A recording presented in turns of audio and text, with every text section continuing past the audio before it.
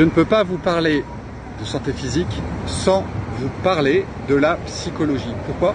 Parce que la quantité d'énergie que l'on va dépenser dans nos problèmes mentaux va avoir un impact sur notre santé physique.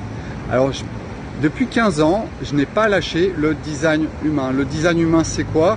C'est une rencontre des anciennes traditions. Bien évidemment, il y a l'astrologie, il y a le Yiking, les 64 façons de vivre la vie.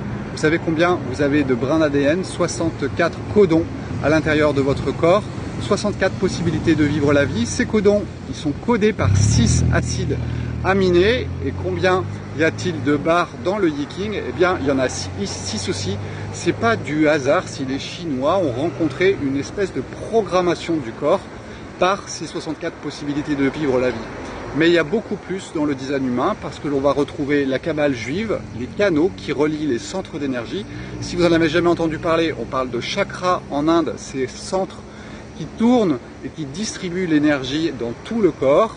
Et puis bien évidemment, on a le yin et on a le yang parce que vos centres d'énergie, ils peuvent être ouverts ou ils peuvent être fermés. En clair, ils peuvent être récepteurs ou ils peuvent être émetteurs. Et tout ça, ça va avoir un impact sur vous ça va avoir un impact avec les relations que vous avez avec les autres. Parce que par exemple si vous êtes un émotionnel, vous avez votre centre émotionnel qui est puissant, qui est très fort, c'est un gros moteur, et eh bien des personnes qui sont proches de vous, qui sont eux en récepteur, auront plus de problèmes à recevoir votre quantité d'énergie que vous envoyez.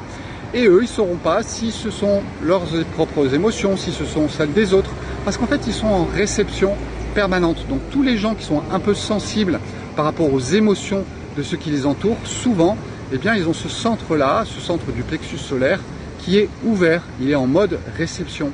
Et ça depuis la naissance. Alors ensuite, on va développer des modes de fonctionnement pour se protéger.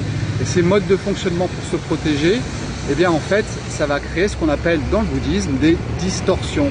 Et nous ne sommes pas qui nous devrions être. Le design humain, c'est quoi? C'est vous rappeler qui vous êtes à votre naissance, codé par quoi Par les planètes qui ont influencé les symboles du Yiking, qui ont ensuite influencé vos centres d'énergie.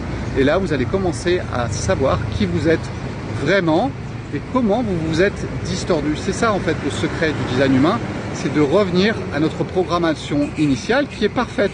C'est un costume que l'on a décidé de mettre, plus ou moins décidé, et ensuite on va le vivre d'une façon ou d'une autre. On va le vivre en construction ou on va vivre en destruction. Bienvenue encore une fois dans le yin et dans le yang.